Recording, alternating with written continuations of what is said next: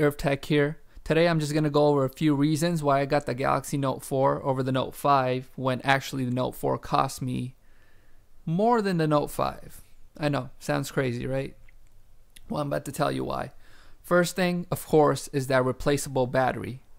I used to have a phone that I could not do that in, and within the year mark, it started to show its age, and I was just was not getting the screen time that I was used to. So now with this phone, I know that I won't have to worry about it. I can just buy a new battery, pop it in. You know what? I got great battery life again. There you go, bam. Simple as that. Also, it has the SD card as you guys saw, so I can have all my movies and music and games all in one place. So as you guys can see, it gets great battery life so far, and I can consistently get that even a year from now, just buying a new battery. Then you're like, hey, but the Note 5 has fast charging. Well, I got good news for you guys. Look at that. Fast charging right there. So honestly, this device is very future proof.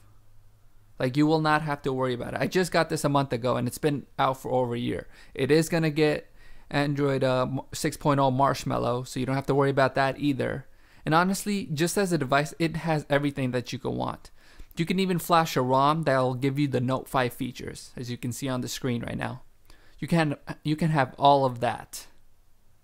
And then you're like, hey, but the Note 5 has that new memo with the screen write off where I can just pull out the pen and write on the screen. Well, there's a simple APK that can let you do that, as you guys can see on the screen. So don't forget to subscribe for more videos on Note 5 and all other types of technology, of course. So yeah, see, you have that feature right there on your Note 4. I put the pen back in, it saves it for me, and I'm good to go. Another reason is that it has the same exact screen size and quad HD display.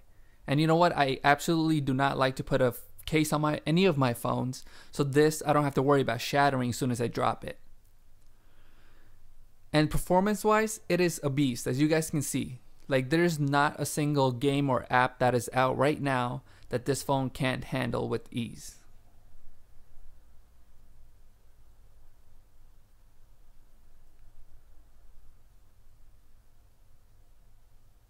It is buttery smooth and it is on KitKat right now in the video. There's a lollipop, but I have not updated for my own personal reasons. But as you can see, that game right there is actually Lara Croft. Go runs it like a beast, so smooth. It also comes with the IR blaster, so you can control your TV, your DVD, Blu-ray player, even fans that have an IR blaster. Note 5 does not have that. So honestly, this phone is probably better than the Note 5 in every way, except the specs, of course. But like I said, it can handle everything.